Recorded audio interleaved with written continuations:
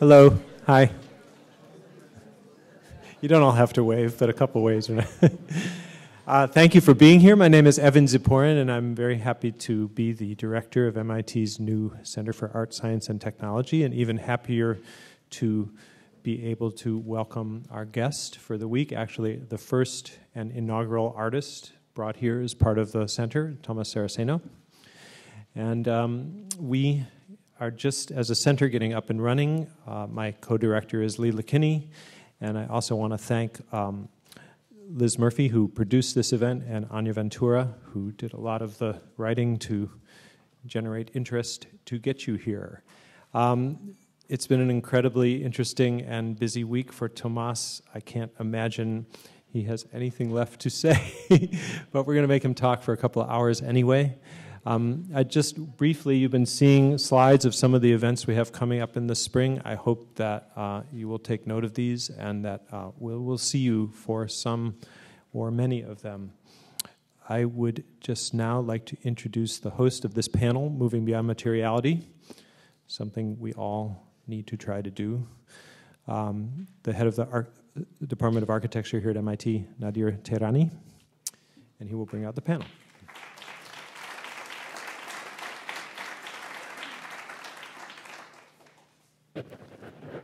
Thank you. Thank you for the introduction. Good evening, ladies and gentlemen. Welcome to tonight's event. It's a great pleasure to be able to make an introduction for such an occasion, as it represents the best of MIT, a place that not only promises to mediate between the arts, sciences, and technology, but in fact to draw out its greatest potentials. I do want to also thank Leila Kinney for making this possible and CAST in general for making this entire week possible. Uh, CAST has been at the forefront of many such opportunities, and we in architecture have benefited a great deal from their broad vision in helping us to expand our culture. This is great. Before I introduce tonight's speaker, I would like to first welcome Anton Garcia Abril, who will, alongside me, help to moderate and act as interlocutor for the evening. It is no accident that he is here with us tonight. Anton just joined the Faculty of Architecture and promises to bring great maturity and sophistication to the arena of design and building technologies specifically within our uh, curriculum. With his team at Ensamble and their Pop Lab, Anton's presence has already been felt in the halls of third semester core, and we've all had the honor of hearing him speak about his own work and research for the open house just two weeks ago. Anton's presence is known on the global stage, and his work is widely recognized for its invention, its rigor, and play. His focus on material agency and its corollary methods of fabrication have brought new life to ancient ways of conceiving building protocols, while also while they, all, while they have also brought new depth to modern construction systems. Of the many protean ways he has operated on material systems, maybe his reassessment of masonry and concrete structures remained the most alarming and seductive. In an era where we can only conceive of stone as veneers, as finishes, or as ornament, Anton has brought new weight to the medium.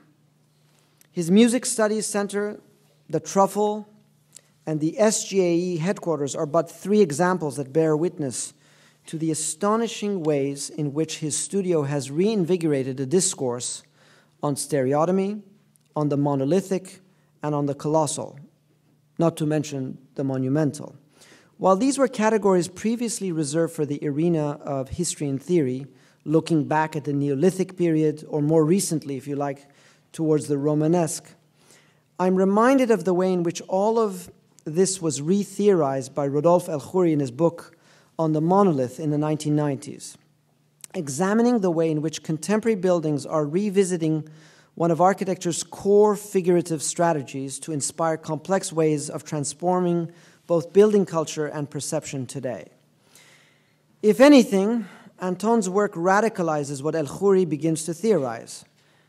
Anton's own second doctoral thesis revolves around stressed mass, bringing our attention not only to the ways in which engineering has advanced structural agency, but also how this has enabled architectural strategies that require mass as the basis of their transformation, their communication, and function.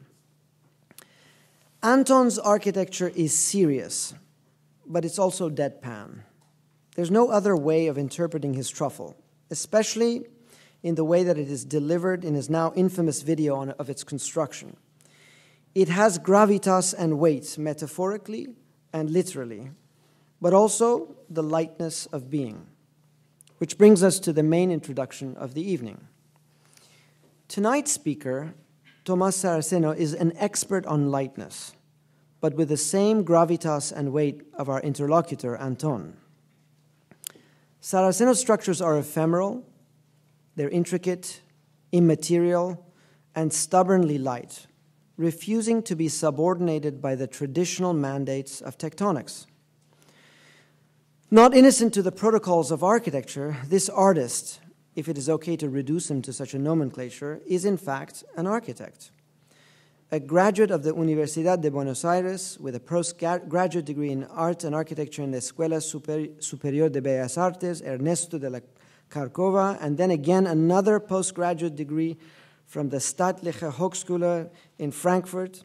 Tomas is, if, is, if anything, overeducated in architecture something that gave way to his interest in the arts, but also offered an alternative path for architectural speculation. And this is important.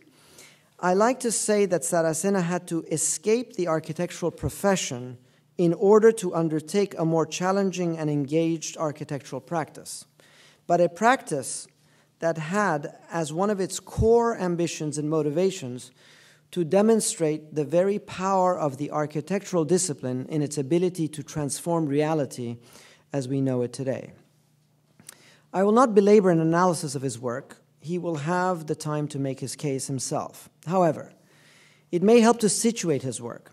As everybody knows, the architectural field has itself opened up many alternative practices in the past two decades, if not more, with the installation becoming one of its main protagonists having even been institutionalized not only in various curricula, as we have here, but also memorialized in annual events such as the PS1 series. The work of Saraceno may draw traction from this tradition, but it also should not be confused with it. While his work is parasitical to architecture, its best function is to challenge the very institution of art and architecture at the same time.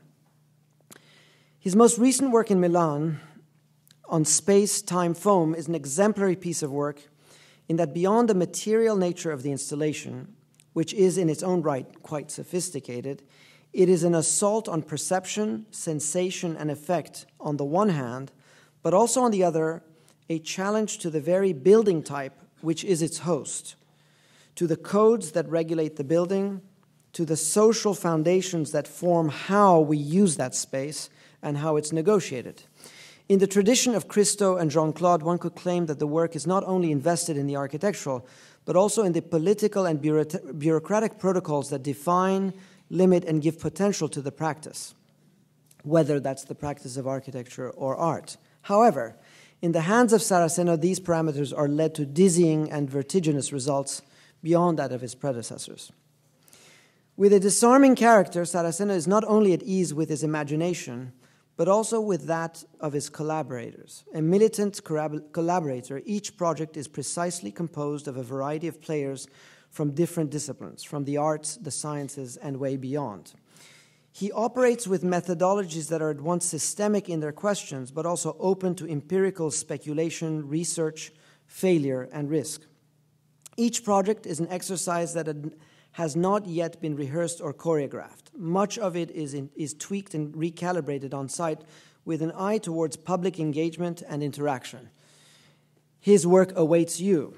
With a repulsion towards the decorum of tour guided protocols, his attitude is formed around pure physical engagement and negotiation, as if to use architecture and materiality to challenge social convention. And maybe it is exactly the frame of the art institution that can offer the suspension of disbelief to help radicalize not so much the mise en scène of Saraceno, but his verit- veritable commitment to inventing new architectural frameworks. So, without further ado, I have to say it is hard to imagine a more appropriate visitor to MIT culture for this occasion. And please help me to give a warm welcome to Tomas.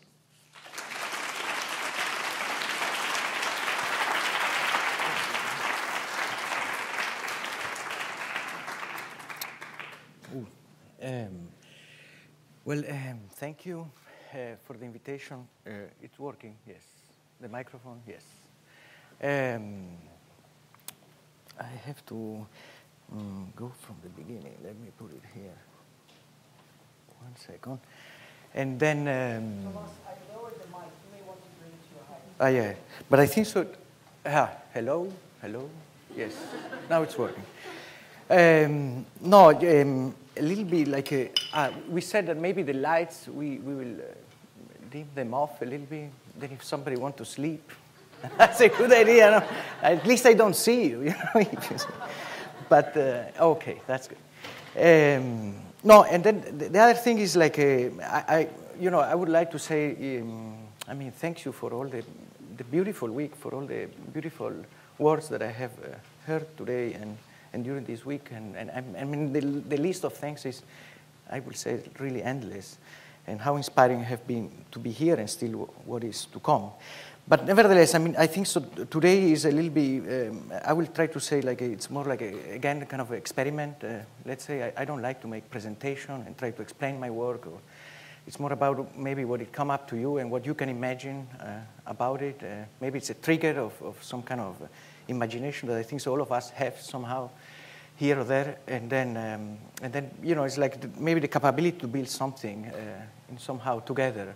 Uh, you know, I always thought like I mean I, am kind of like to put uh, um, troubles myself. In, in this case, you know, I know I have to stick it to to half an hour. This is now 6:52. I have to, to, to get there, but I have like I think so 400 slides. This mean we. I always thought like you know a way to interact between me, which is here, which is kind of uh, um, somehow boring also, but, uh, but it's to give to all of you kind of a remote control. Um, and then we know that in half an hour we have to go through, that, through it.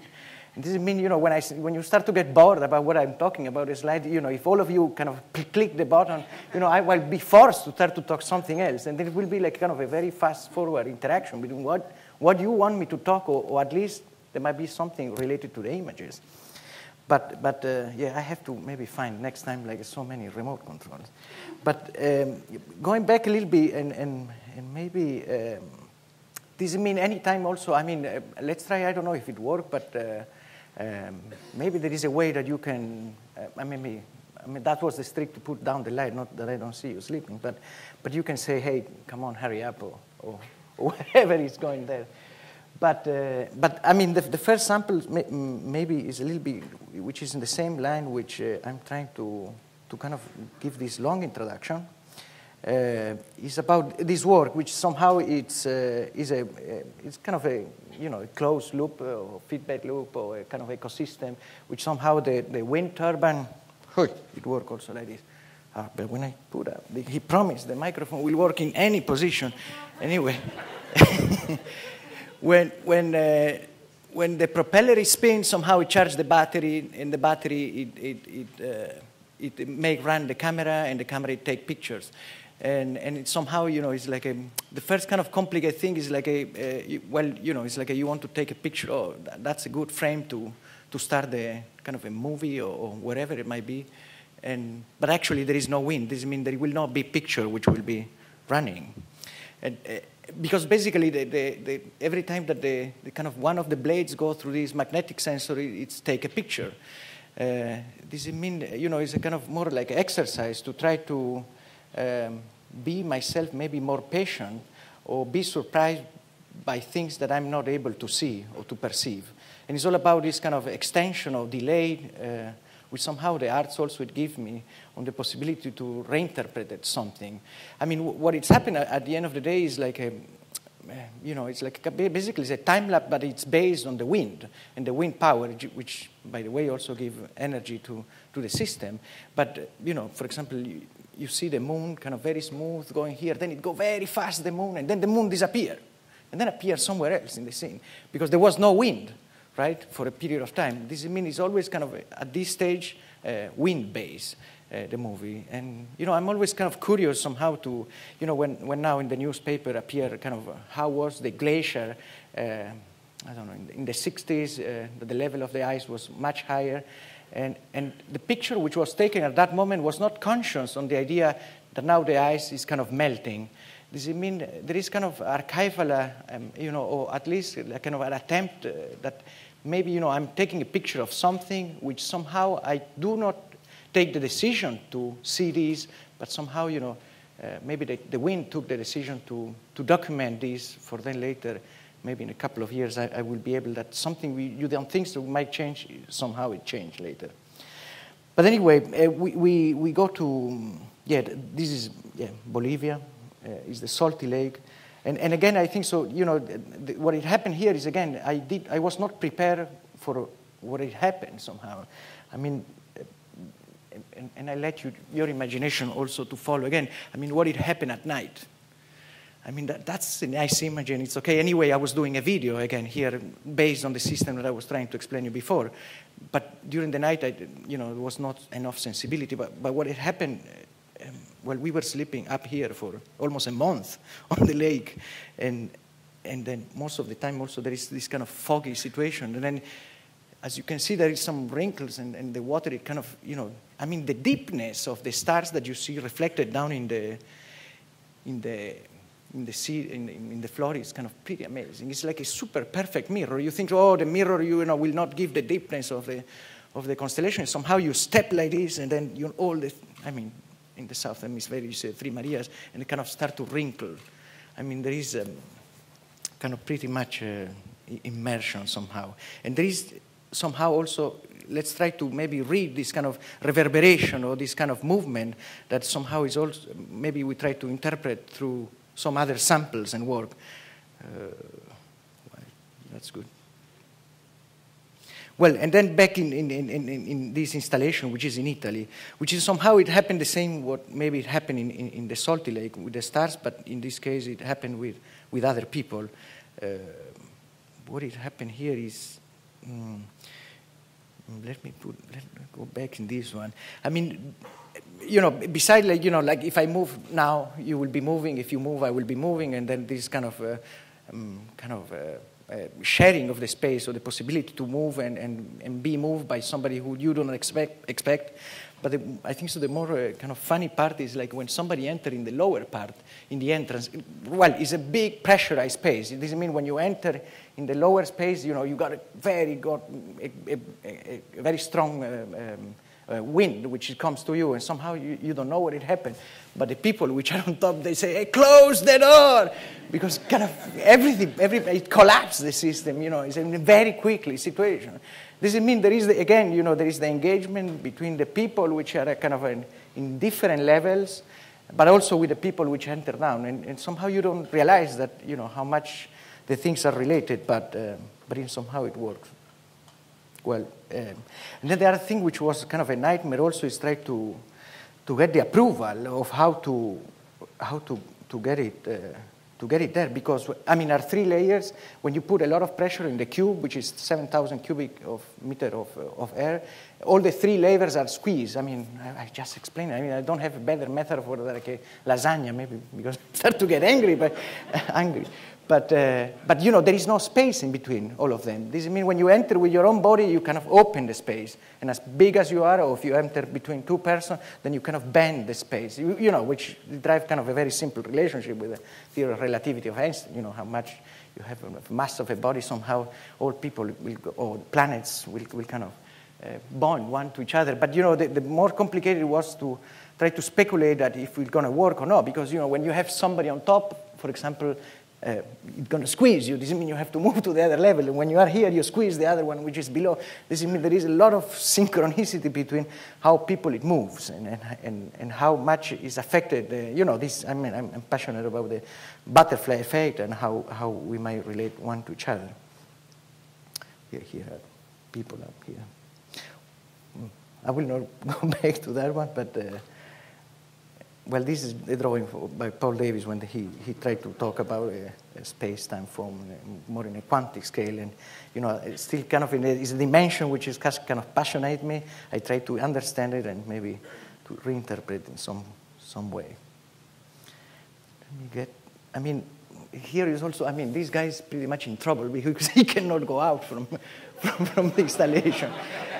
This mean, again, you know, it's like, a, and, you know, there is a lot of security which we try to avoid it, but, you know, for these men to go out, somebody else has to go to the bottom of the installation, and then he will be lifted up, and then he can get the staircase and go, and, and go out. This mean, uh, it, it takes a while, a little bit, until you learn, you know, how you know, uh, and then the other, I mean, the, another thing which happened usually, I mean, I'm, I'm pretty much, you know, at the beginning, uh, uh when was during the installation, uh, we tried to make a manual of how to use it because nobody really, it kind of is a constant learning process for me and for the people who somehow have to take care. But, you know, another thing is like people usually like to be together in a space. But when you be together in a space, it kind of it really go deep, much more than this. This, I mean, it's very difficult to escape from this kind of black hole situation. there we are. That was the first time that I entered kind of alone, and this guy tried to come and rescue me, but, but, but I didn't disappear yet. Anyway, one of the ideas, and I think so also when, when I came to the, when, well, I received the invitation of MIT, which somehow was a dream, also like a, a student, you know, Gyula Kosice, one of my former uh, professor, you always say, well, well, you have to go and study and say, well, go to MIT. And somehow I didn't make it, but I'm so happy to be here today. But, uh, you know, the, the, then the idea, I mean, the way how we build this, uh, this work, this kind of membrane, let's, let's put it in, in that way, is like then later we might be able to uh, fill it up with uh, hydrogen, and then um, the idea that it will be float, uh, right? well, there are these floating islands, and and here it is, well, something like this. We, we are thinking maybe we will go to the Maldives island, and um, which when they, they said with the best uh, time maybe maybe 15, 20 years that they kind of uh, sink down there. And then, you know, we are trying to kind of um, um, coordinate them. And then, you know, there is, we were talking today uh, about the idea to add some desalination system, very, very primitive of how we might be able to chill out up here, but at the same time drinking water, and at the same time try to talk or enlarge the dialogue of the piece that kind of engage in the kind of uh, situation inside and how we might confront with another scenario which have more uh, maybe latent uh, uh, concern. But nevertheless, I mean, it, to go back this, it's, you know, I'm kind of um, uh, enthusiastic to try to um, think um, that this might be one of the clouds or might be one of the, the, the ideas of how we might be able uh, to shape or to think about. Or, and also to expand, no, as, the same as Buckminster Fuller has said, you know, we are on a spaceship Earth, you know, spinning around the sun, and all the time there is this kind of uh, idea to expand the concept of, of thinking like a cloud city in kind of a multiple scales, and, but it also go back to the interpretation of uh, what, it, what might be, uh, where they might be. And, um, but, but basically, what, what I'm thinking very easily, we were in, in, the Department of Planetary and Earth and Science, and then was kind of pretty interesting also the speculation that we were saying because you know i mean the, my first question will be is like a, is it possible that to you know like a kind of an, uh, architectural scale or, or kind of uh, you know i just borrow the classification of the clouds to try to simulate how it might be like a kind of a style in architecture like a Romanic, gothic or whatever and say like a, okay cumulonimbus city or stratonimbus city or, or cirrus or or whatever, and try to see if, I mean, the, the question that I posed them it was, was saying, like, could we imagine that if, if cities are built, let's say, like a, um, each of these spheres is a house, and then, you know, we can kind of agglomerate one to each other. It's kind of a kind of big mobility of cities. It, it might resemble how clouds, we, uh, as we see them today. Does it mean it might move this particle in a certain way uh, if we have neutral buoyancy?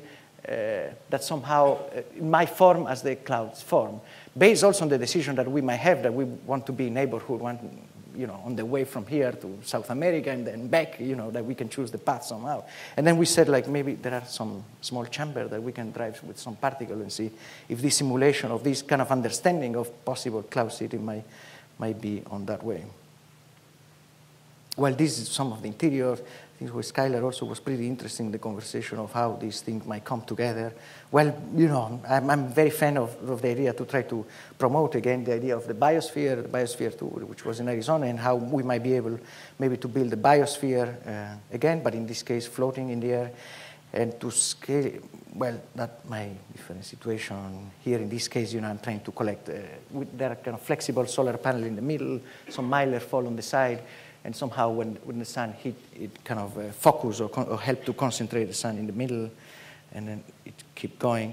It's a kind of more structure of how I think so. You know, it could uh, it could come together. It's a little bit more technical, but uh, you know, there, each sphere, which somehow, you know, what I'm finding out is much more easy to use uh, simple, simple kind of uh, geometry, and then when you join one to each other, somehow it closes the gap. And then what I'm thinking, and it basically is, a, is, the same concept of a wheel of a bicycle, but in three dimensions. When you pull them all together, somehow it get, and you can enter inside, of, of in, kind of in the hub, uh, in, in, between the, the space. This is not floating, it's hanging on the tree, but hopefully we, we, could get up in the future. Well, this is kind of the same. Also was, in this case, it's also a little bit was more difficult when, when the people are up there because uh, they could not see really what's going on there. This means when, when again, you know, it's all these kind of pressurized spaces. It's pretty challenging to, to understand how the dynamics are in between, in between the people. Well, then what I, well, I, have been working then with uh, Phelan and Weaire from the Trinity, Trinity College and then uh, university, and uh, you know, I've, I've, been obsessed quite quite a lot on the idea of how spheres pack one to each other and the kind of the optimization between the volume and the surface and how we could uh, manage to, you know, just to, to get to a, a scale. Maybe I try to go and how they could connect one to each other, which somehow, you know, it go back to the piece which is now at, at the Metropolitan. This is a little bit kind of larger scale, in this case at 22 meter, meter each. And here you go to the, to the Met, these were kind of pretty smaller. And all the time, you know, a little bit the reference also was like, a, you know, it's like a, what is kind of a, a kind of a, a sundial, somehow the work, which is somehow, you know, when the sun hit one of the mirror, somehow the site of this kind of a possible huge solar clock are the building which are around. And then we speculate a little bit more if, you know, I'm kind of pretty fan of Don Pettit, the astronaut, which is usually make very funny uh, experiment on International Space Station if he might be able to see the sunlight also traveling to that distance. This I mean I was pretty much concentrated on, on the piece, but at the same time how you might be able uh, other people to perceive it. Uh, this. And it is again, you know, the position of this reflective surface was again trying to bring back this experience from Uyuni, you know, from Bolivia, where you kind of, uh, you know, it's kind of a challenge to try to perceive how many uh, reality you can see at the same time and move. I mean, to, to bring it kind of a, a, a larger scale, uh, it was a little bit too, too, you know, I mean, McPherson, what he speculated is like if we have a 1.2 miles diameter sphere with one degree of temperature between the inside and the outside, you might be able to lift it up in the air, taking into account the volume of the structure and, and, and, and all the, the material. This means it's pretty important, you know, how big, you know, it's not that I'm obsessed to do big things, but somehow if you want to try to fly only with solar energy and be up only by the, by the sun, it, it kind of need to, to get a little bit big. And then there is this kind of speculation to try to bring down the sun when many spheres are connected together. I mean, the, the, very simple sample is like play with a laser and see how it kind of bounces back, and then you kind of reach up there, and then try to get it also in a kind of in another scale of, of, of dialogue. Well, this, uh, but, and the other reason is like that I'm partially from Argentina and I like to eat barbecue. And I thought, well, that would be funny to have a kind of a huge solar cooking on top of the mat. and people could go there and hang the sausage and then kind of, kind of eat them. And this is kind of a, a, a solar cooking uh, that we are trying to, to cook a chicken, which is hanging up there in the Atelier Calder. Um, well, here you get to another dimension. And here is, a, this is one of these uh, solar balloons, which I say there are not many built in the world. Uh, this you can build it like a, if you are two or three people, one weekend for $300 uh, you can more or less put a man up in the air only by solar energy. What I mean solar energy that is, is really the sun who heat up the interior of this. Uh, is a, this is polyethylene 50 microns. It's the normal uh, trash can. Uh, I mean, this plastic which is over there is kind of similar to this one. Yeah, it's not more thick than this. It's even a little bit thinner. And we tape it together. And I think so at the moment there are eight in the world who could uh, who have been built uh, based somehow on this. This is a little bit more particular because we use this pentagon and hexagon, which the idea to incorporate aerogel to get more thermal resistant and to be longer because every time they come a cloud, which somehow I like to think cloud city, but you go down, you know. this is mean. But, you know, the idea is also we will be above the level of the cloud. This means there is a kind of, a, and, and kind of move at a certain speed. And you can regulate the altitude also opening and closing. No, you get a cord in the middle. This means you can go up and down. Also, let it the, the hot air go through. Um, here, here's the interior. Where is the rope that you, you pull? This is more similar to a, a hot air balloon. Uh, well, this is kind of a, a, project which I'm part of somehow. Um, it's kind of a collaborative, let's put it, a platform. It's called Museo Solar. At the moment, it might change to something else.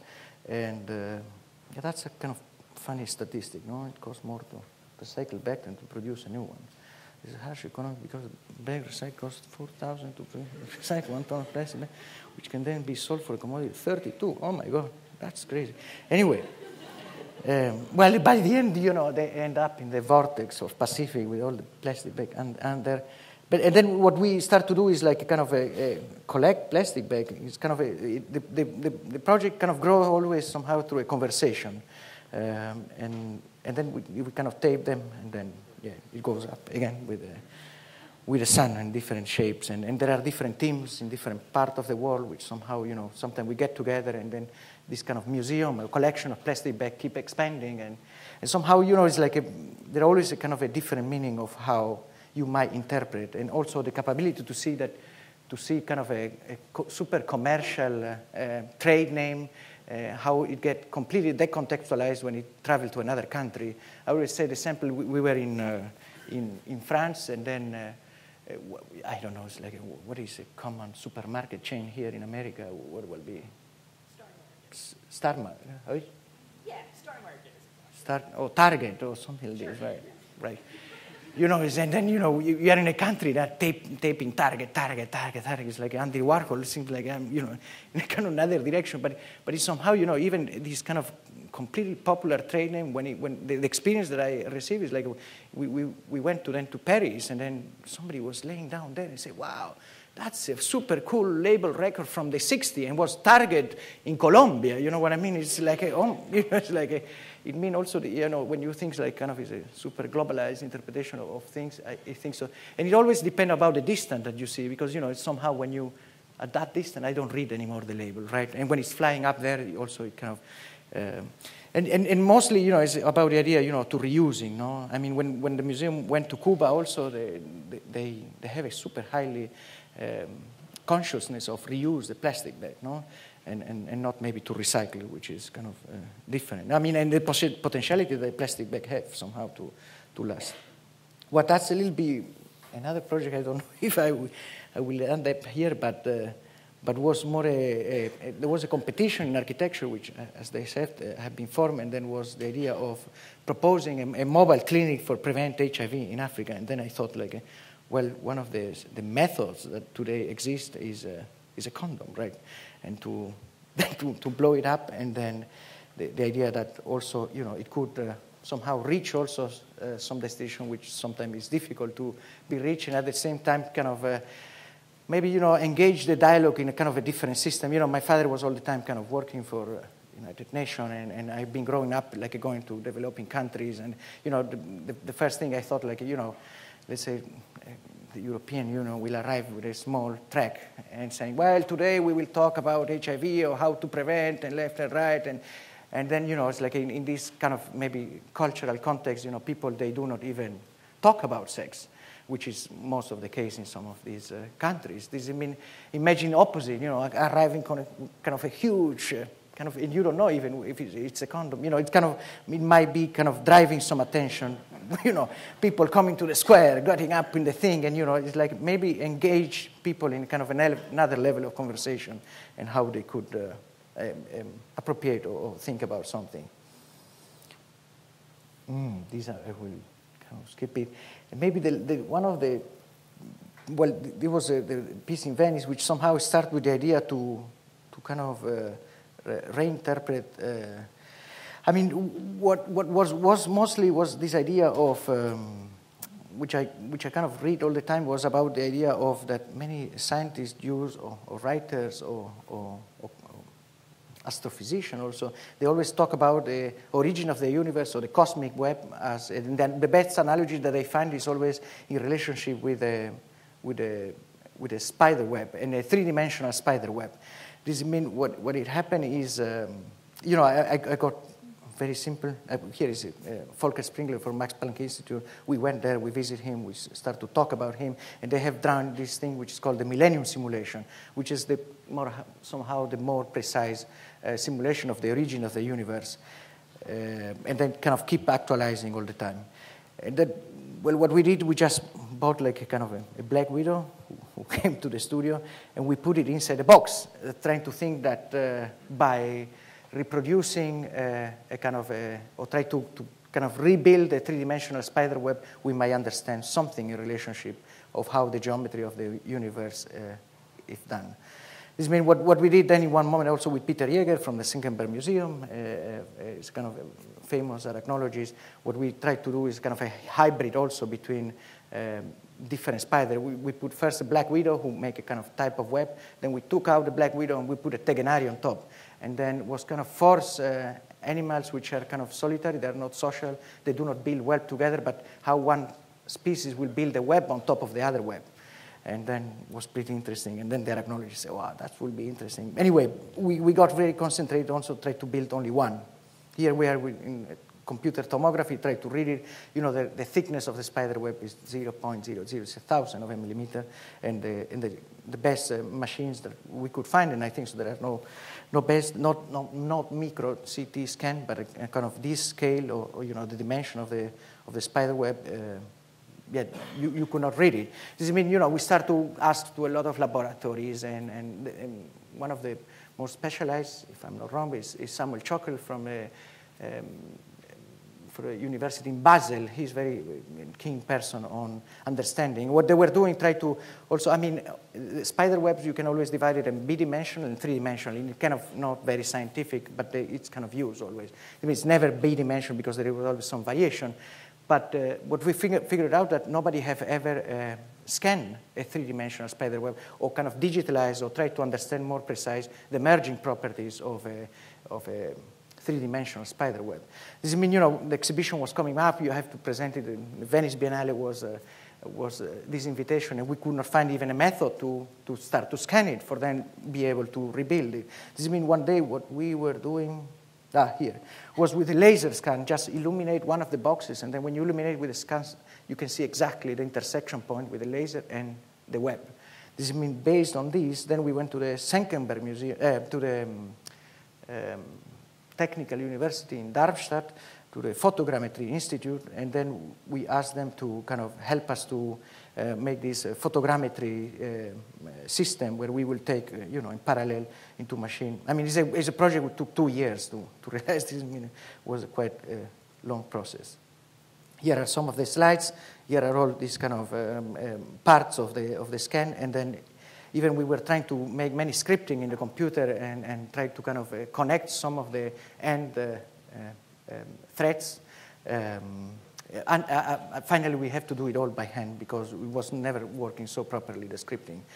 And then based on this, then we, we, we the idea was kind of somehow building it. Um, this means we got this kind of enormous amount of, of numbers and, and nodes and intersections. And then I mean, we, we can drive then later exactly how we do it, but you know, every time that there is a two or more lines reaching to a point, we put a, a vertical, I mean, we print all the nodes on the floor and on the ceiling. Uh, this means we know exactly where the nodes are happening. And then when we put a nylon line uh, at the high where the nodes are, and then we start to build from one node to another node and here. Because what it happened, you know, when you pull one thread, this thread might bifurcate in three, and then in four, and in five. This means it's very difficult if you don't have the exactly position on space all the time where the nodes are located. It's very easy then to pull into the form all the net uh, in another position. This means the nylon threads, and then you have to navigate kind of through, through, through the web also, which uh, was pretty complicated. Here you, you, can see mostly how was that. No, it comes from from the floor and how somehow start to elevate up in the three-dimensional space. Yeah. was, was Oh, it was endless work. I mean, it was winter outside, snow, and then we have to heat it up there.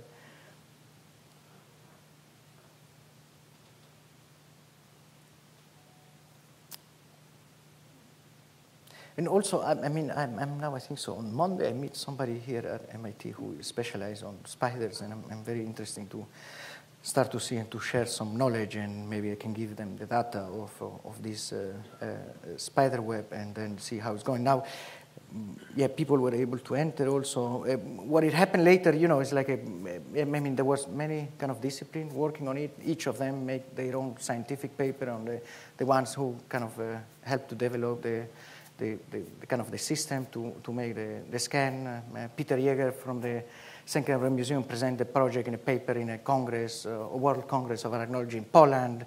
Um, then when, when, I meet Gilles Clement uh, from, uh, um, he, he do, uh, he's responsible for a lot of life science experiment on the International Space Station when I was at NASA in 2009, and he said, oh, you managed to scan a three-dimensional spider web. I said, well, yeah, why, why don't send it to ISS, no? And then I said, wow, that's fantastic, because somehow it might kind of send spider back to space and see how, because before it was not sent, I mean, spider had been in space and in a microgravity environment, but always bi-dimensional, never three-dimensional. They could not really study them, they will not make sense maybe to compare them. But somehow also what I, what I and then, you know, we supply this and we keep going on.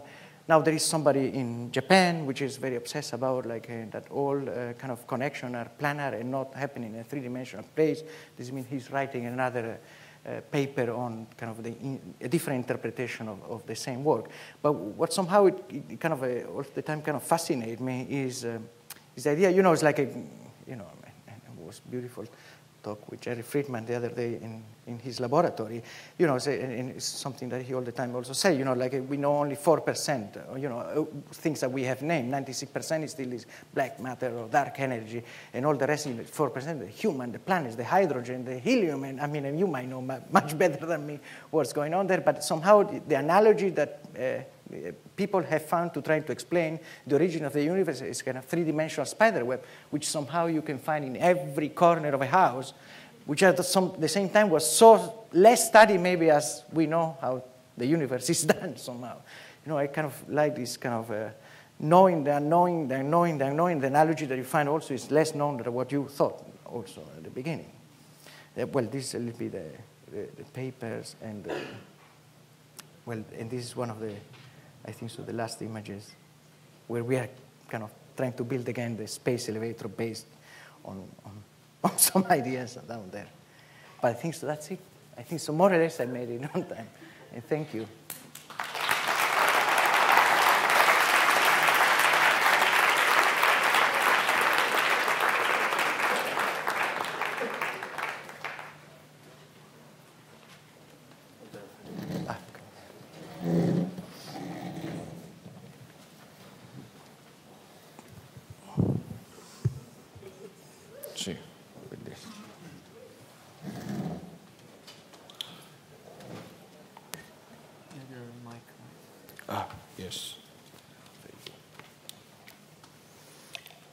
Anton, I will let you lead the questions, and then I will hold them back from this side as you, as you start.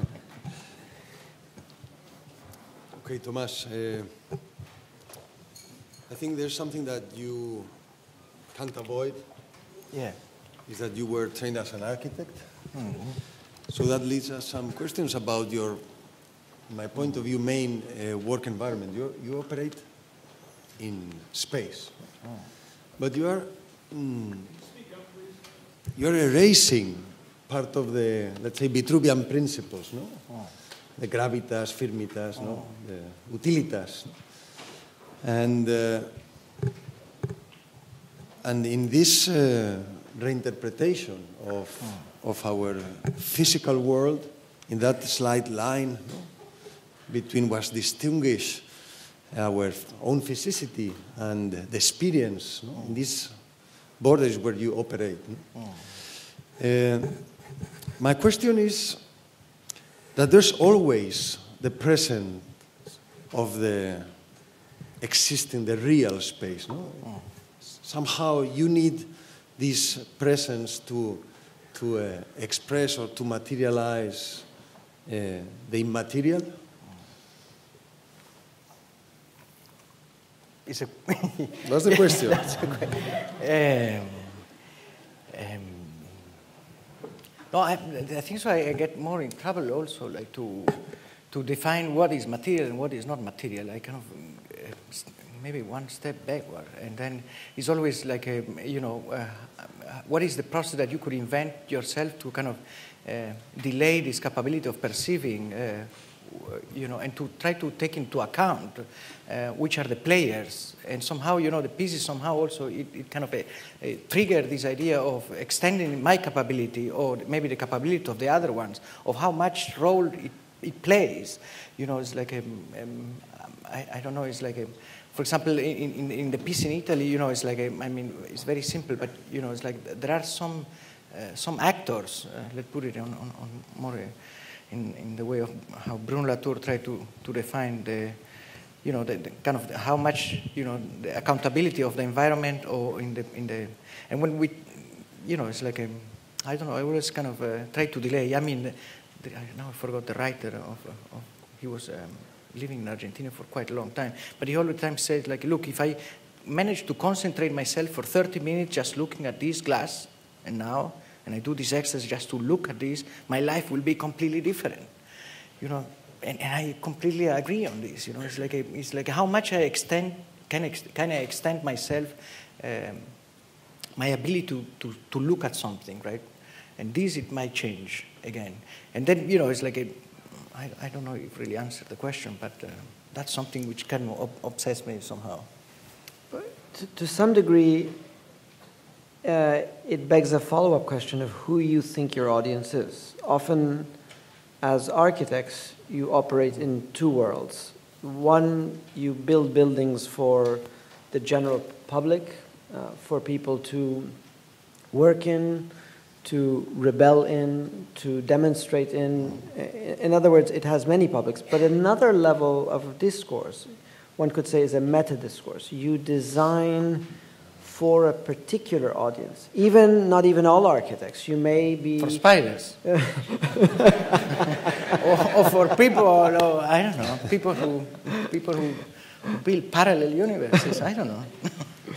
Do you have a, an audience that is internal to your circle, whether it's art historical or whether it's architects, but they are the, the bearers of a certain discourse to which you compete with, aspire to, etc.? Mm. Um,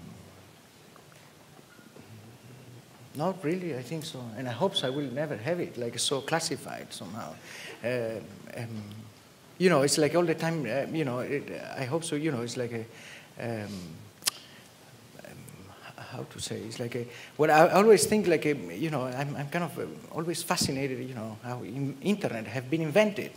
And let's put uh, like this membrane, let's put it like it's more like a platform for people then to kind of engage maybe in the construction of something which might be like a kind of, and architecture I'm interested in kind of a social space who might engage people in kind of a, a sharing uh, some possibility of, of, of, of, of, of thinking about something. But, uh, but is um, the, the audience, I mean, I'm an audience all the time. You know, I cannot separate so much. And also I cannot separate so much, you know, disciplines.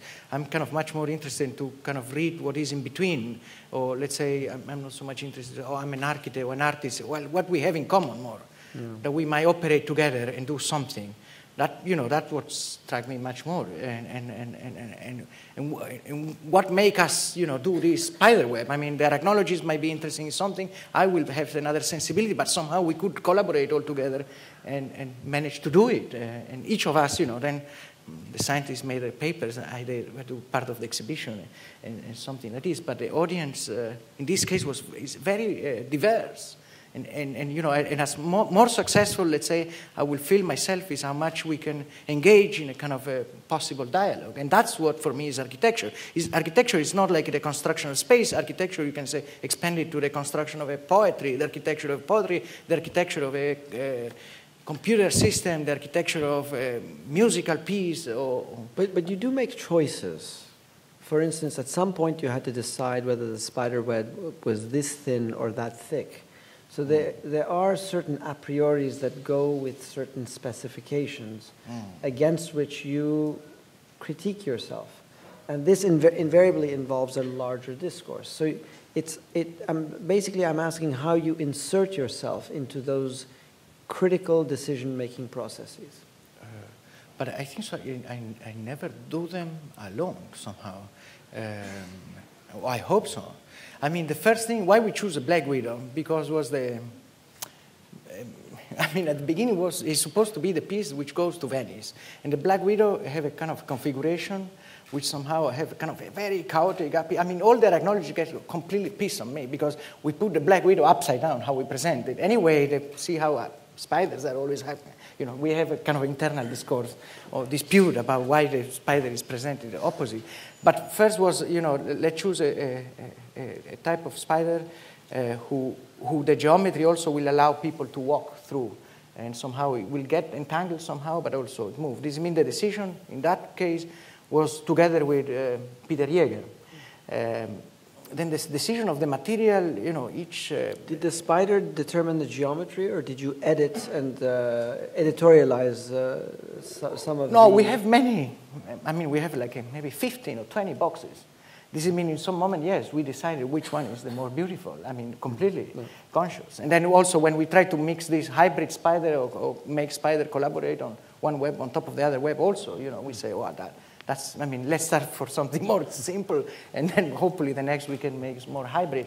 But, uh, but also was very complicated. I mean, it was trial and error, trial and error. You know, it's like spy, at least the Black Widow, I think so, I have seven different uh, uh, types of threads, one which is more elastic, the other one who have their configuration, and was very complicated to, I mean, all the threads, we will do a system which is too flexible, uh, was very difficult to calibrate. This mean, we make all the lines are non-elastic, but the nodes, and when they connect, are elastic. This means it gives some kind of flexibility to the system still to, to kind of uh, uh, have this ability to, to kind of keep the nodes in the space. You, it was very interesting that you showed us the, the process uh, to arrive, for example, to the spider web project in a very scientific method. Uh, but uh, I think that uh, behind that scientific method, there's the desire of, of, of managing the uncertainty of, of everything that happens, no?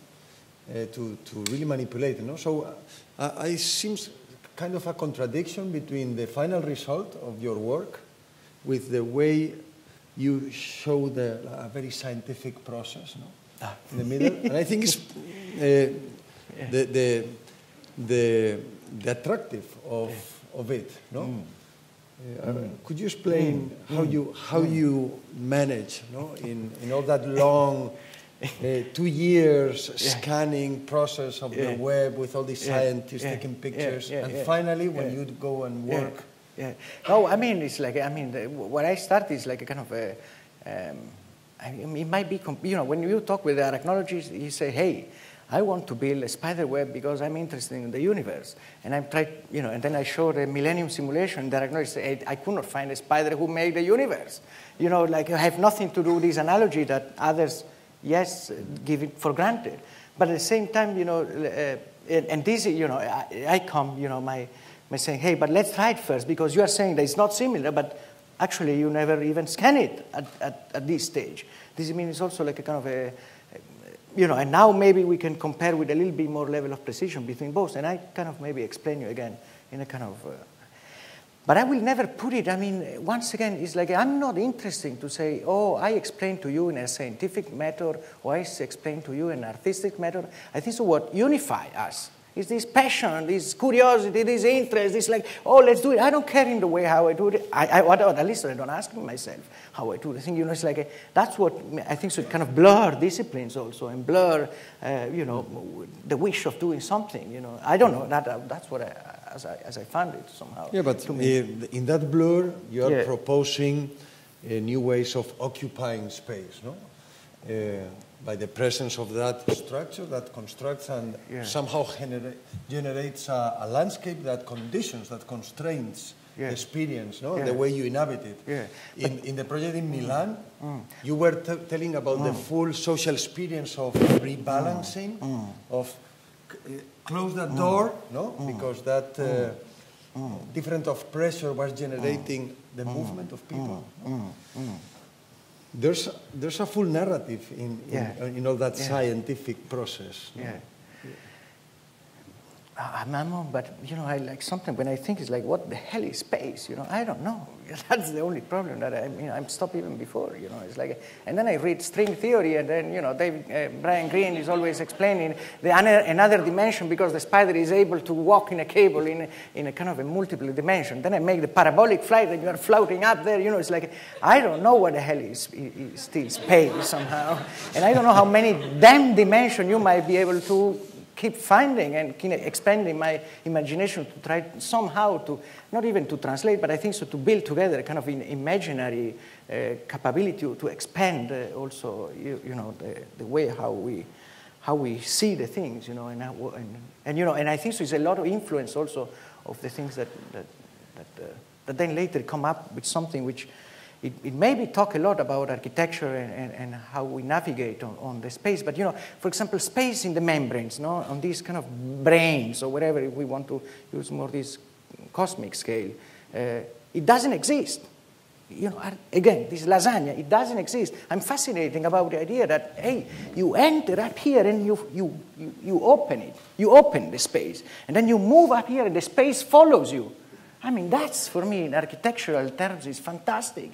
It's a space who does not exist, that with my body, it opened the space, very ecological, very kind of perfect. I don't want more space than the one that I need with my own weight. Does it mean I open it up, the space follows me, it's like a science fiction movie for me. Every time that I go there, I'm like, oh my God, you know, it's like, and then I think so that I can open the space. Oh, fancy enough. Now it come these guys, and I close my space, and I have to move it to the other side.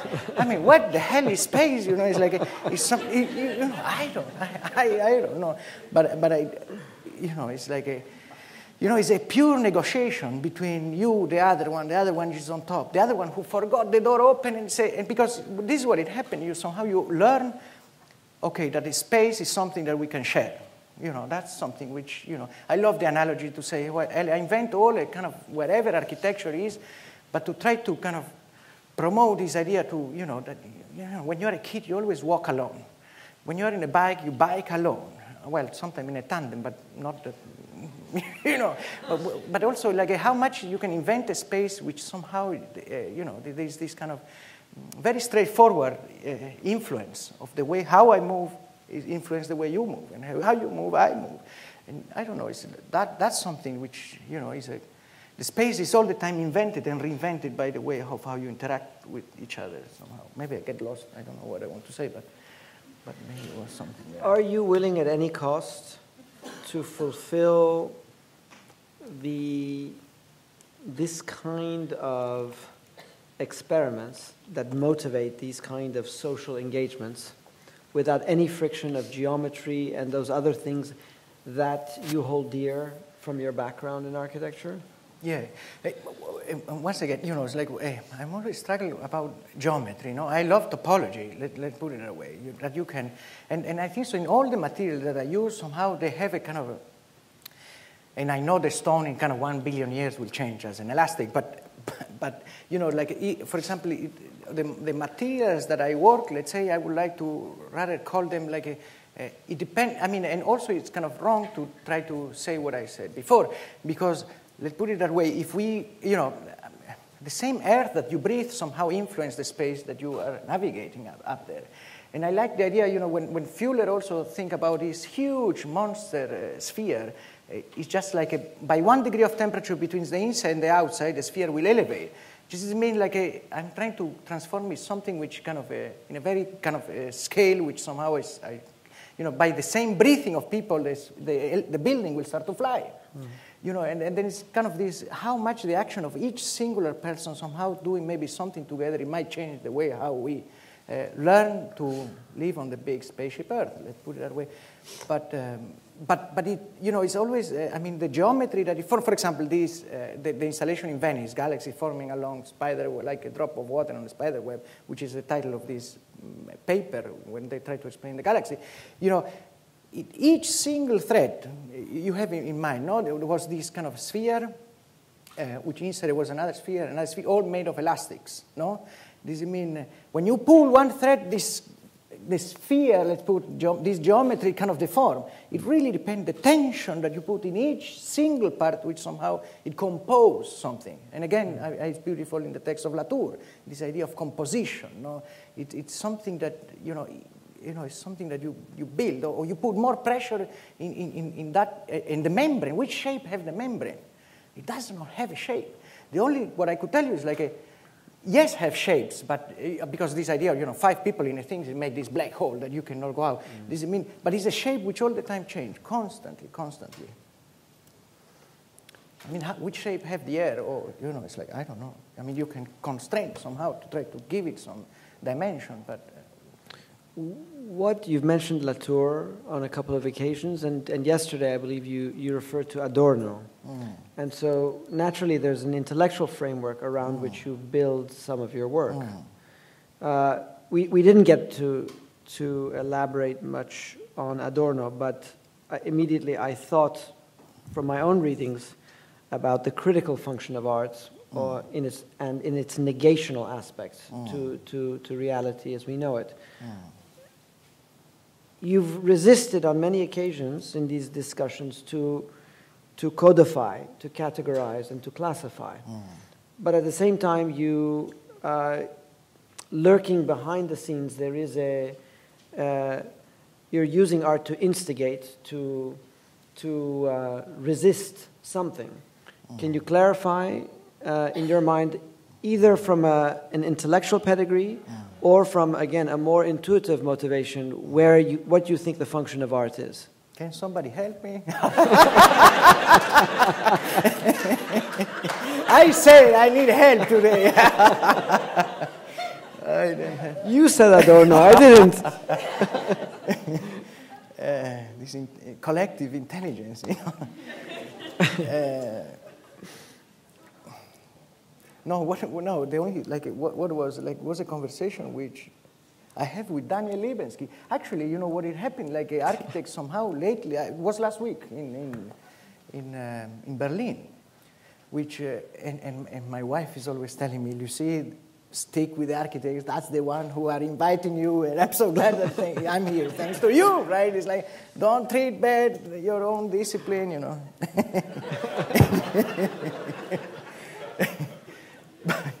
No, but uh, uh, besides this, I'm, I'm, very grateful. But um, no, I, I, what, I, what, I remember is like more. I, I, mean, at least into the into the art scene, which I do not find maybe so much the discourse into the architecture, is this capability to the acceptance of failure, which always Adorno said, you know, is one of the um, is one of the constitute. Is, I mean, it's something that you no puedes anticipar. You cannot put it as a is a condition, but you cannot put it, anticipate it, on, on, put it on front. And I see many times into, uh, you know, like even talking with artists, mostly, more, more than architecture, because maybe, maybe in, in art, no? Maybe because in architecture you have the responsibility that is a building that have to stand, that, you know, there is something that, uh, the failure is something that, I mean, you, you, you cannot op- so openly uh, talk about it. But in the artwork, you know, sometimes and, and now I'm trying to define, to divide it, the things that I didn't want to, but um, was this uh, mostly acceptance to say, well, it doesn't work well, but you know, it's like Adorno said it, it could fail, you know, and to be art, it have to fail. This is one of the responsibility of, mm-hmm. no? But you cannot put it on, on, on the front. And I think so, mostly for me is more the ability to say, like, a, if, I, if I use this pretext that it, it might allow to fail, uh, I kind of, uh, um, I'm, you know, I'm, I'm not so persistent and consistent and, and kind of, uh, um, does it mean it's something which I... And in this uh, allowance to failure, is it a matter of scale? Because now you are thinking about mm. 1.2 kilometer dome, mm. flying structures. Mm. mm. You, you're, yeah. you're getting dangerously close to architecture. Yes, eh? yes. And of we- the universe, eh? not of the cities. Or the we don't, we don't want you to be an architect. eh? We want you to, to stay as you are. eh? And, uh, but uh, there's a scale of intervention, Yeah. of space modification, of action that does not resist failure. No, I mean, what, what, I, what I do is like how, how beautiful, I mean, what also is like, and, and this was so beautiful talk with you the other day, you know, it's like there is this kind of problem, let's say, of, uh, of scales again. Uh, but, uh, no, of, you know, when I, I mean, this was, was nice the other day when, when we, we were talking. It's like, you know, this kind of 1.2 miles diameter. There is from one side, you know, what it pushed me a lot is like, hey, I want to make it fly only with solar energy. And, you know, the sphere in this case is the best thing, and here and there. But, but somehow, you know, I, I always thinking like, will be so beautiful that when we think about a city, is an aggregate of very simple and single houses. Uh, and you know, and that's the scale. Does it mean you know the construction of the city will be the wish of each single individual? It somehow it generate a big mountain, but uh, but again, it's the participation of each single individual who somehow rely on the responsibility of each of us toward the construction of something. I mean, what what I'm That, that has been a city always. yeah. eh? Well, yes, no. That's what I would say completely no. That would have been the city of, of the neglected. I mean, it's like, let's say, the, my role, like, say, like, put it on the architectural scale, is like a, how we could engage people and citizens and, and, and everybody in, engaging the participation of the urban planning, how we can convince all of you that it's beautiful to build a city and how we can build it together. Now it's in the hands of developers who sometimes make horrible thing, money. There is a kind of a whole horrible scene behind it. And, and very little people, even architects, do not have so much influence. And for me, it's about how we can spread or try to engage people into the construction of a city. In this case, a flying city, but we could do also like a, a normal city. You know what I mean? It's more about invent a platform. Let's say how beautiful it would be if we managed to build together, as we did Linux, or as, or this improving Wikipedia uh, knowledge, uh, we could somehow build a city.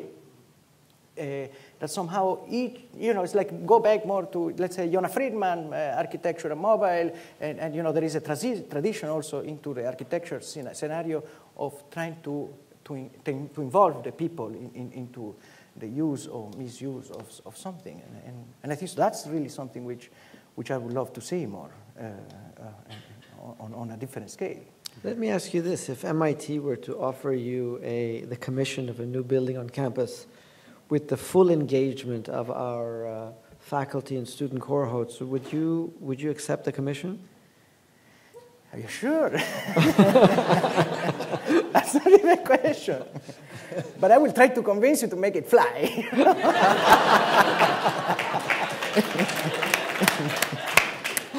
no, but I think so. There, is, there will be no beautiful. I mean, I'm always trying to think. eh, It's a building you. I mean, if now we, we, kind of uh, start to breathe, breathe, breathe, and then we go up, we go up, we go up. It's closing up again because we exhalate hot air, you know, somehow. Or, or you know, it's like a, a building. You know, you come up in the morning and you say, oh. Which temperature is it, which temperature is today, and you see the building is like so high or so low because it's like a thermometer in the city which goes up and down. Or when you get tired of MIT, you can just take off and go somewhere no, but the other thing also, what it drives me crazy in Germany is like, uh, is the, and now it's getting the winter and the bad weather. This means sometimes people travel so, you go to Palma de Mallorca or beautiful weather, but sometimes you forgot. It's like a just few kilometers above, where the same spot you are is a super sunny day. It's just like up, not so far, right? And then people travel horizontally, but the vertical component is, uh, is kind of missing somehow. I tell you, like a very small story was uh, I was in, in St. Petersburg for three weeks, and there was no sun at all. No sun, no sun, no sun. Then I got in the plane, finally out, and then the, usually in Argentina, we still, when the plane is landing, we used to clap. You know, there is some kind of sensibility for me still. but when it happened, uh, the plane, it crossed the level of the clouds, and people start to clap. They saw the sun. And then I say, oh my God, that's the first participant. You know, with them I will not have problem to convince them that I'm doing a cloud up there, above the level of the cloud. Does it mean? Uh, I don't know. Tomas, you fly when you're working with the public. May I use this opportunity to open questions to your public out here? There are two microphones, one on this side and one on the other side, and help to open up this discussion. Thank you.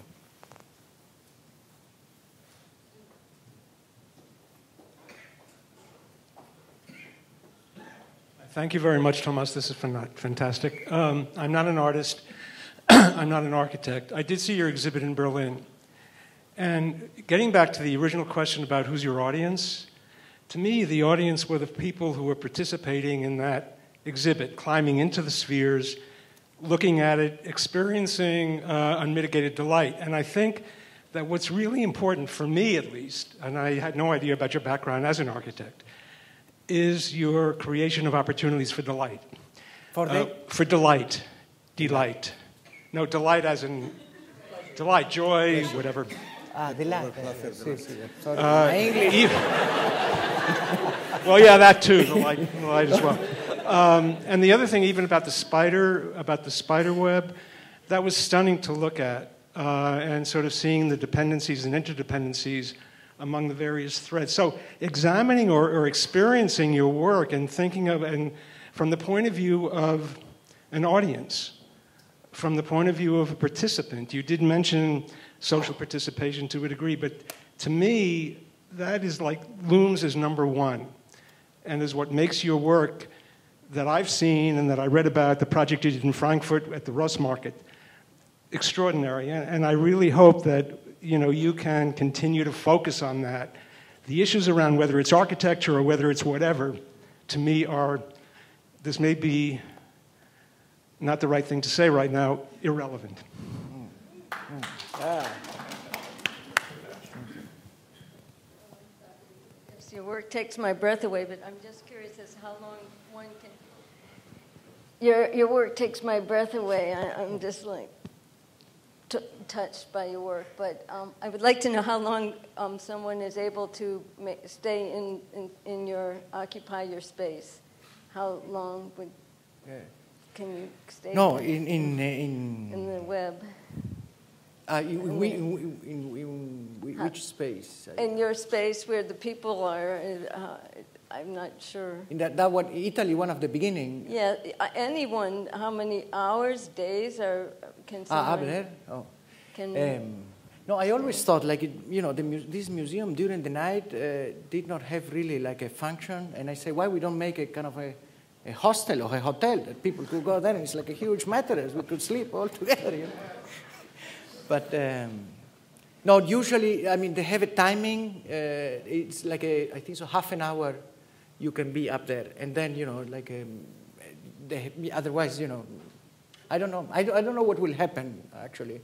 Uh, but but, but there is a timing that you get inside, you get a number, and then for 10, half an hour you can be there and then go down. And then, uh, but all I will say is like a, on the top or one of the levels.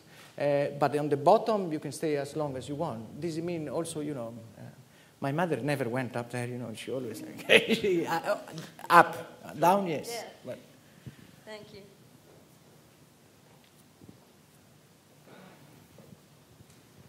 Um, in your conversation with Nader and um, Anto before, you you keep like resisting their your work from like architecture. Um, so I'm just curious about like because in your work you present a really strong connection with architecture actually like they share the idea of like social space, their gravity, their public engagement, and uh, this ideas just come across like the art and architecture. And I'm just wondering um, how do you think your previous architecture education um, contribute to, to, your work? Or um, in another way to put it, like um, how do you think your work will in turn contribute to other architectural approach? Um, no, I don't know so much, but um, maybe you know much better than me uh, how, uh, how you know, it's like maybe you can tell me. I mean, you, we, we have been together with, uh, in the conversation with, uh, no, in the, in the, when we were with Skylar together? No, you were not there. No? I know, I forgot now, I mixed it up. But um, Um, mm, what should I answer? I don't know. Um,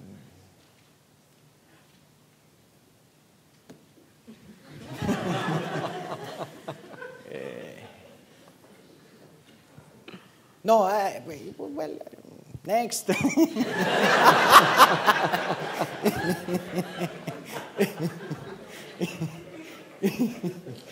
no, but what, I, you are an architect, or what? You study architecture? Yeah. Yeah, super. Uh, I, I, hope, I, I, hope so we can influence each other all the time. No? Okay. Let, us see how, like how we, we, we can build it together. Uh, no, I, I mean, what was is like a, uh, when we were at the, uh, I, I was the other day at the Media Lab also trying to convince them to help me on get some sense, not to measure the temperature of people when they're up there. Not because the Media Lab also, there is this kind of strange intersection also of how they put all these sensors on the building up there and then and how you know you can track conversation or, or, temperature. And that was for me will be pretty useful to because the problem is like when you have to rescue somewhere there that it never happened yet right? But uh, but in case and, and also it's like how much information you give to the person to be able to to move into that space no? Let's say on this big uh, um, air uh, uh, moving. This means usually what i always tend uh, to say is like you don't have to say nothing to them let's put it that I'm trying to answer your question on architecture. No, it's more about like a, which information uh, is necessary to give to somebody, and if is necessary to use or misuse this space. In that, in that way, in that uh, space that, that was, was there, uh, usually they are very severe with me they, they tell, look, the public first, take out your shoes, take out the, everything from your pocket because you might make a hole and you fall down 20 meters. Uh, don't go to the border, don't get together so much, don't do this, don't do that. And at the end, it's like, oh my God, don't tell this to the people. You know, I hate this kind of, uh, uh, you know, it's a space that you might experience. And at the end, it's contradictory also with the na- same nature of how people might be able to experience it and to learn from kind of a feedback, a, relationship between us, no, uh, or, or, between how it's used and this use. This means I thought, like you know, with a, maybe with a media lab, uh, sensing, and then it's much more less responsible because when you enter the space, and I'm always talking about architecture, and they tell you all the things that you can do or you cannot do. Somehow you are enter much more confident because you say, "Oh, they told me I can do this. They told me I can do that." You know, and then you move if I, the strategy that I'm always trying to, to avoid is like, don't tell nothing to the participant who are there. When they enter there, they are kind of, oh my God, what the hell is going on? You go, whoa, you go down. You, say, oh, you know, it's like a, somehow the, the learning process is much more, eh, your responsibility toward the space or toward the planet, let's put it that way, eh, it's much more engaging and, and it works much better. You know, it's much more attuned, you know. It's much more uh, sensible. So I had a question about um, the talk is called Beyond Materiality, and um, it's really fascinating. But so basically, so there's this space, which is the negative, then there's the solid object, which shapes the space. And so when if, if it's beyond materiality, is it that materiality is it wrapped back around that the space is the primary investigation? And it seems like that's, you're really interested in the space, but like Nader was talking about, something has to shape and define that space. And so, for example, the plastic sheets define the different layers and how people move with the space closed behind you was actually the, the mylar sheets that would close behind you. So the materiality, is it just whatever is needed to create the, the environment? Or like, is it just that the, whatever uh, you can get your hands on, whatever is actually um, does the job. Like the, I think there was a question about what th- thickness of thread you'd use for the the spider web. Was it just whatever you was available, or you said, okay, this is too elastic, this is too stiff, so this one works. So it's just there was no kind of um, overt thought about, well, this is the material. It's just that, well, this is what works best to define the space and create, you know, the, the environment. Yes. No, uh, about material, I'm, I'm here. I enjoy also at MIT. I mean, we, we, we, we visit with Leila, which was fantastic. Many uh, experts on different materials, you know, for example, would be wonderful if, but these, these nano graphene tubes are not still available to buy. I would love to have them. I'm trying to build now a, a flying plaza. There is this, uh, all, again, this graphene, graphene, no? these sheets, very, very light. Uh, if I would get this to make next solar balloon, will be much more smaller. I need less volume, less material, but still is not available. Uh, this I mean is a, yeah, it's a negotiation always. You know, I mean the sheets that I'm using are PVC. Um, will be nice to make them with ETFE, which will long, last much more longer.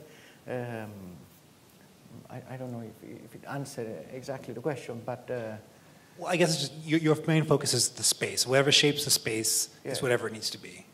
Yes. Yes. Yeah. But let me put it again. For example, in Museo Solare, no, uh, this uh, kind of huge uh, museum which fly made of uh, reused plastic bags. Also, the material over there, you know, is like um, people bring it or people tape it at their home. And the space also is something which is pretty undefined because it's due to collaboration of the persons that the space keep growing and the collection it keep growing and, and somehow else there is this let's say put it in architecture there's always this problem that sometimes uh, um, architecture build a museum that is too big for the collection or too small for that collection, and you know you don't have enough space, then you, you show this uh, art, and you don't have to change. I mean, it, it's beautiful. This museum somehow it, it always show all the collection, which is plastic based somehow, and it keep growing because every time you add more, it kind of get it bigger and get it bigger, and and I think so. And that's also like a space which just grow through the participation of people or, or get small. You know, now at the moment there are three museums, one in Helsinki, one in Italy, and one in Germany. Sometimes what we do, before there were many more, and now we, we glue them all together and the space get bigger. As bigger it gets, as more lift is. There will be a moment maybe we can carry a person up there also. But, uh, but it also changed. And I think it's also nice to, uh, you know, uh, you know, when you see it, you see every single piece, you know, somehow you, you, you get the idea of, of how was done somehow, maybe, of the materiality of, of, it, no? Which is, it get really personal somehow.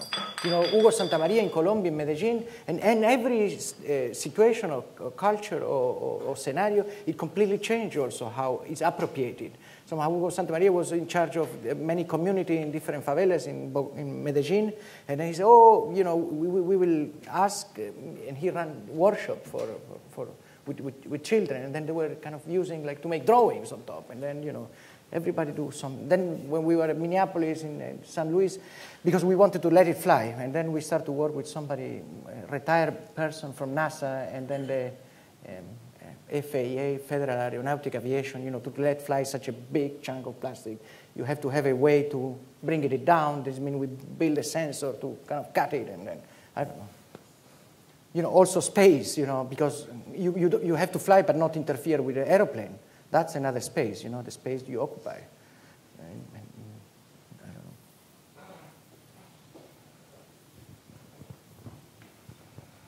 Yeah, uh, I'd like to draw attention to the fact that in almost every picture we've seen, there's a human being. And it might be like an obvious uh, fact, but I think it, it's important to stress it uh, in the conversation uh, because it, uh, it addresses also the thing of the audience, the architecture, and the materiality. Because um, even, in, even in Venice with the spiders, um, there's in the picture that we saw, there's this guy standing next to it with a little plastic uh, shoe protectors. And the, the, shoe protector is um, creating like a distance from the floor so that the floor doesn't, doesn't become a floor uh, by uh, getting some dirt on it, um, yeah. and so that we can still see the white, uh, which is the same white, so that the, ma the man who is looking at the thing and is pondering this uh, spider web is like floating um, in that um, uh, air, right? Um, so I, I seem to, to identify this um, importance of the human being, the, the, the, balloon that is floating with the sun um, there's somebody hanging. There's always somebody there uh, being floated by the material. And, and so the, the question of the materiality is also um, related to this presence of the human being because the human being is very real, very material, very, very there, very physical. And uh, it is um, a whole collection of devices to um, bring this physical person into a, a, an immaterial uh, atmosphere. Uh, Is, is that a conscious search, or is it something that I'm just seeing? uh, No, no, I, I, I- love to, I love people, still.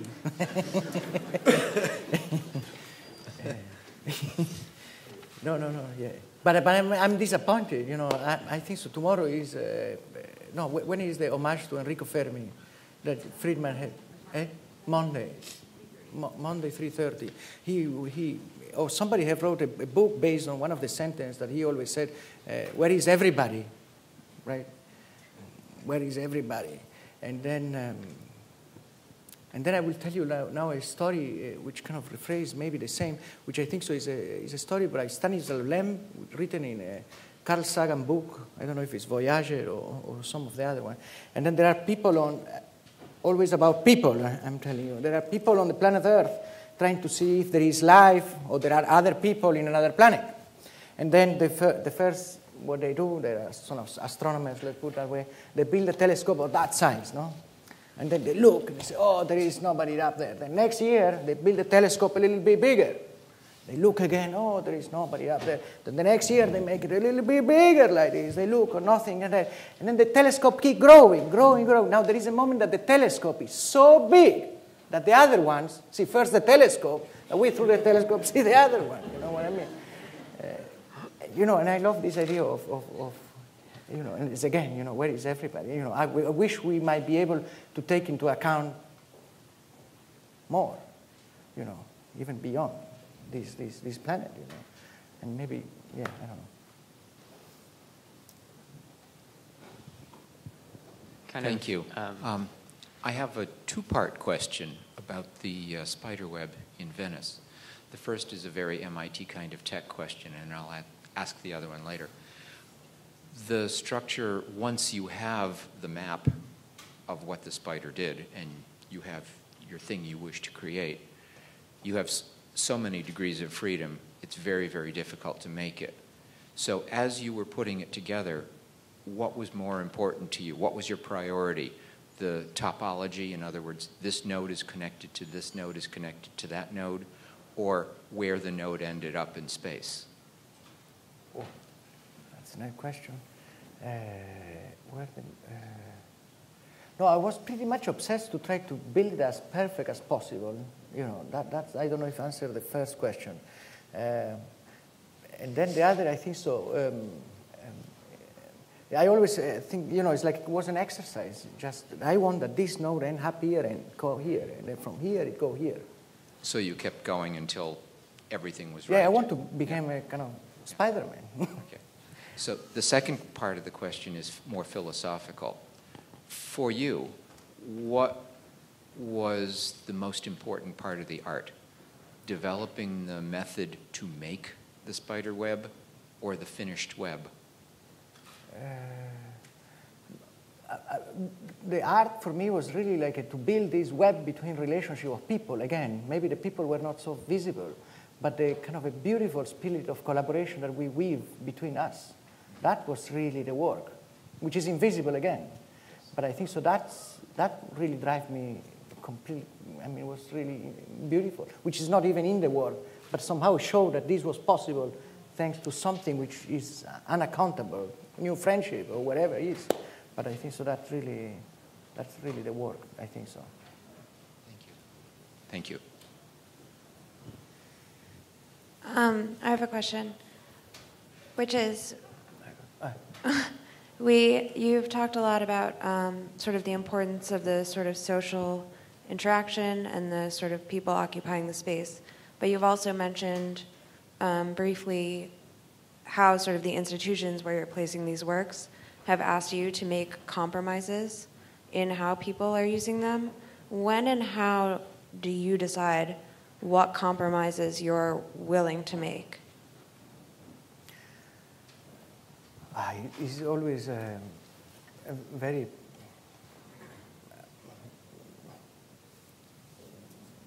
like you sense it yourself. No, say hey, until you know sometimes they ask you no, no, no, no, and then one moment you explode. You say okay, basta, I don't want to do it. You know, but otherwise you yeah, kind of, you, you, you, always accept some things, some not, but mostly the, the thing is like what I try to do is, is never being myself and then there is the institution.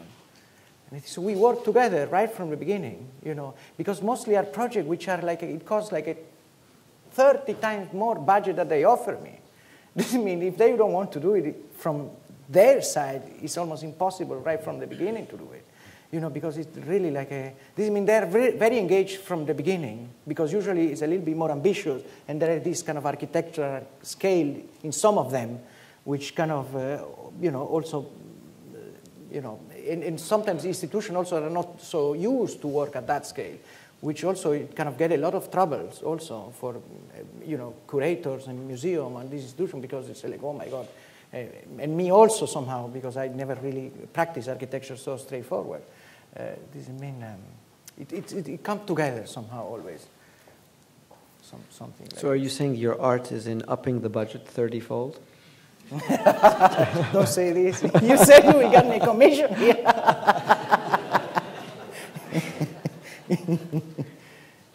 well, we have time for one more question, and then we need to wrap it up.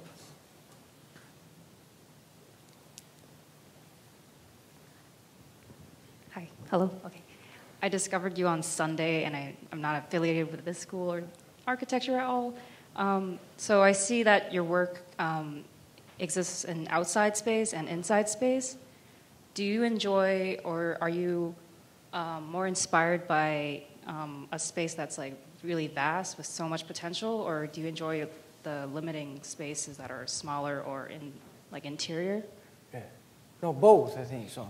And always, you know, the space inside your brain is like a kind of, you know, there is always this analogy also, the spider web, many, you know, how, I think so we are visiting somebody who is specializing in connectomes uh, on Monday, and, and then it's kind of the inner uh, you know, connectivity of, of cells. And, and this mean, um, I think so, you know, um, you know, there is, you know, it's kind of this simultaneously, you know, uh, simultaneity between uh, the appreciation of, of, of, these multiple scales, which, uh, which kind of make me enthusiastic. Uh, and then, then, you know, when it, it doesn't work in one scale, I say, well, you know, it might work in some other scale inside my brain or inside the brain of somebody else or, or something like this. Tomas, you've been very generous with your time and your thinking. You're still here, so people have more access to them. I just want to thank you again for this wonderful. Thank you, all of you.